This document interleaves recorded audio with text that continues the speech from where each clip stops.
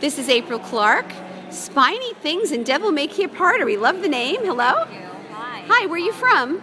I live in East Brunswick. Okay. I teach art at West Orange High School. Oh, you do. You're local that way. Wow, look at these. Now, what are these made out of? Um, these are ceramic. They're Gorgeous. vessels that open. They're vessels that. Oh, so what would you put in there? Like jewelry, little. Uh, you could if you wanted to. I just like the fact that there's an inside surface to look at. Beautiful. And they're very affordable, like as they say, affordable uh, art. Yes. Affordable art. How long have you been making these? Um, I, I'd say the idea started 10 years ago, but I've been working steadily since 2008. They remind me of the ocean. Do people say that all the time to you? They do, and I look at sea urchins and sea pod, seed pods for inspiration. Okay, everybody, I'm going to have her contact information, and everyone I show you on the site also.